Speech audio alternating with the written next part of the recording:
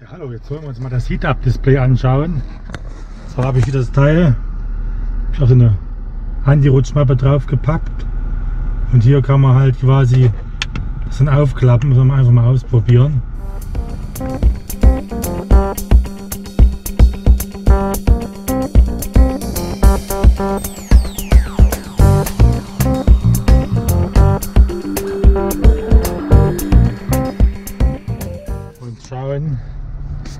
Ganze klappt. Ich brauche so eine App, Geschwindigkeits-App. Kurz mal Motor ausschalten, sonst kriege ich hier Verwarnung, weil ich das Handy in der Hand habe. GPS natürlich einschalten. Hier, Digi Hood Pro. Da habe ich jetzt schon den Spiegel verkehrt eingestellt und kann das quasi dann so hinlegen.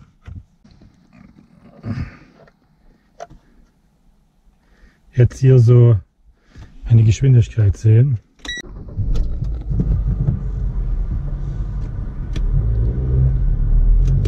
Das ist natürlich leicht verzögert. Durch ein blödes Auto vor mir.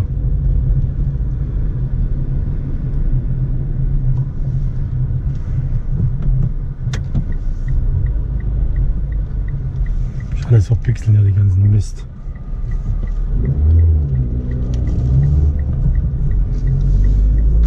Ist aber man kann da wirklich schon sehen. Man braucht, jetzt habe ich Gegenlicht. Ganz einwandfrei beobachten hier.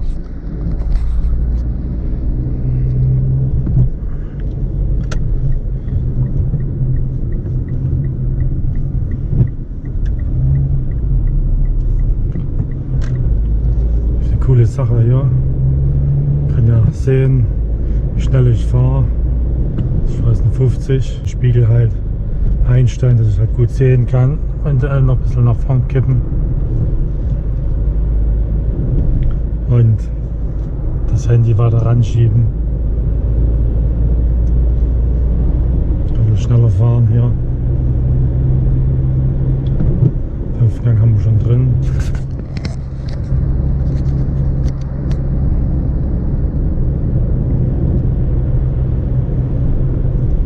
Ich hoffe, wir können das alles wirklich gut sehen hier.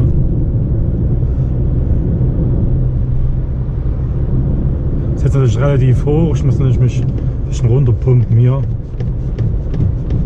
Damit ich auch wirklich alles sehen kann. Bis 61 fahren wir.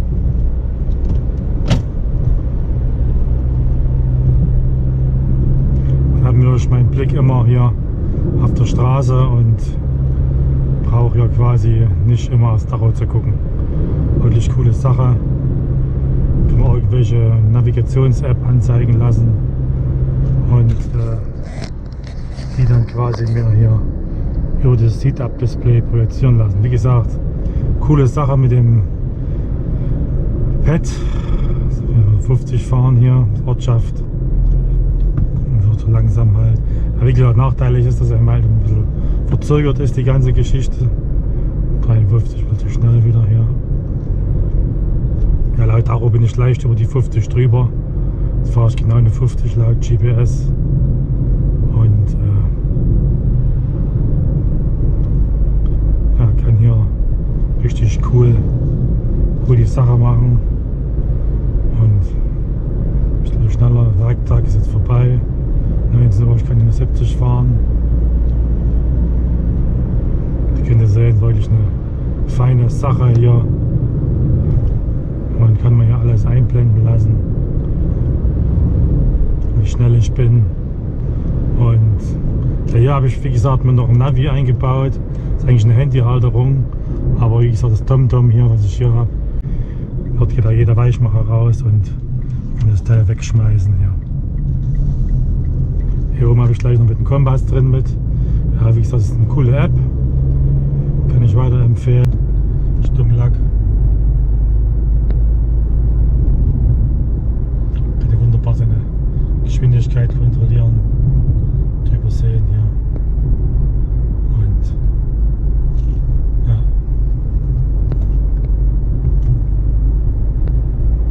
Coole Sache mit dem Teil und okay. Schon Tesla hier.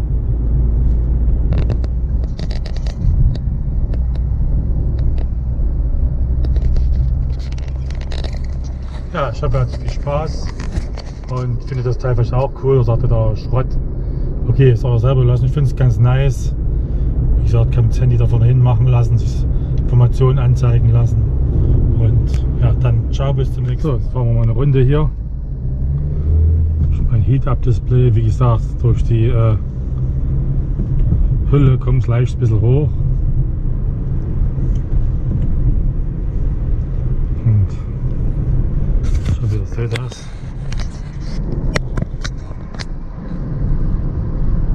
Aber maximal nur 50 fahren.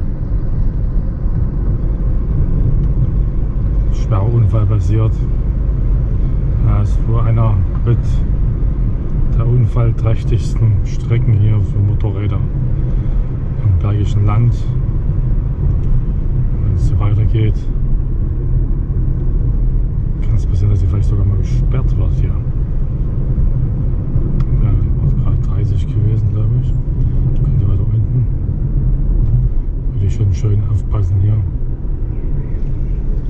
Schön die Geschwindigkeiten halten. wunderbar kontrollieren, den wir hier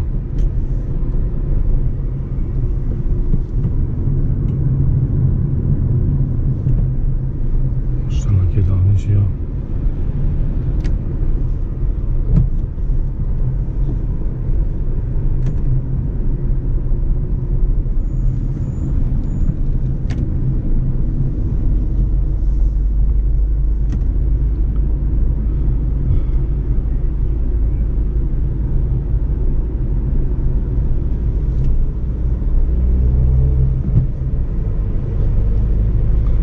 Dunkeln oben kann es passieren, dass sich das Handy im Ding spiegelt. Das ist natürlich ein bisschen blöd, aber das ist wieder das Handy. Was dann nochmal drauf. Bisschen leicht schräg.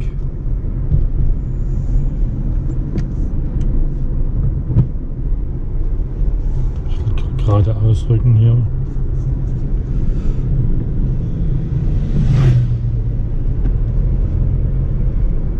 so leichten Spiegel hier.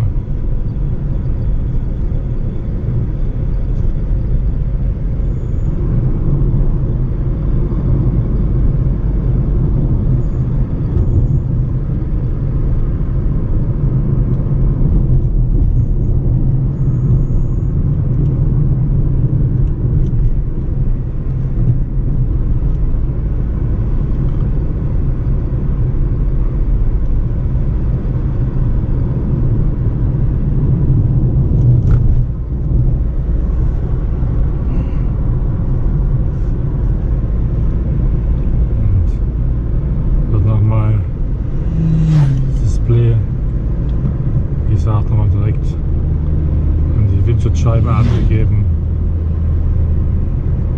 dass man leicht sehen kann. Vielleicht bis ein bisschen weit oben hier.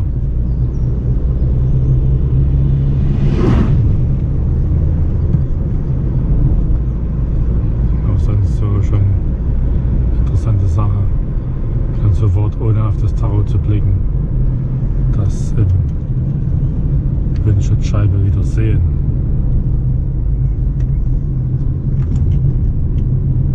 Wie gesagt, GPS ist leicht immer verzögert. Ich weiß nicht, ob es Handys gibt, wo es schneller geht. Keine Ahnung. Und kann das hier so schön fahren. Wie gesagt, im Hellen hat man es nicht ganz so gesehen. Jetzt im Dunkeln sieht man es halt schon. Und vielleicht kann es auch ein bisschen nerven, ich weiß es nicht uns ein Polo angeräubert hier, der mit überhöhter Geschwindigkeit hier unterwegs ist. Sind aber vorbei knallt ja. Schön vorschriftsmäßig hier zu 50 fahren.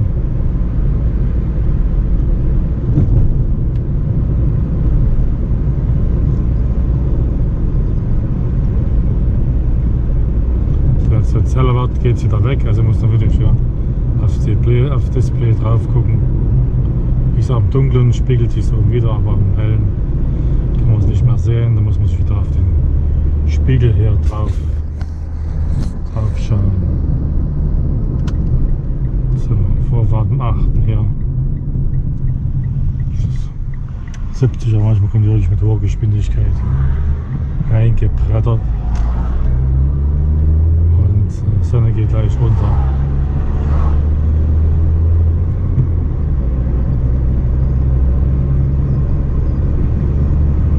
Hier kann ich hier 70 entspannt fahren hier. Habe ich sogar eine 80 drauf, weil ich gesagt der Tacho geht halt vor, das weiß man auch, ist bekannt.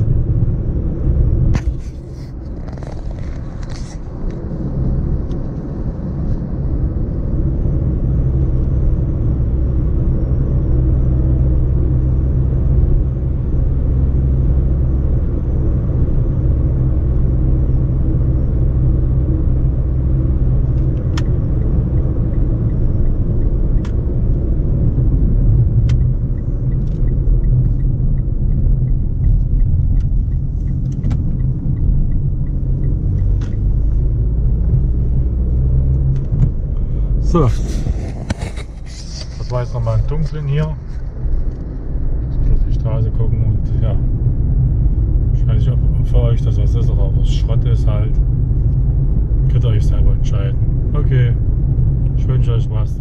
Ciao.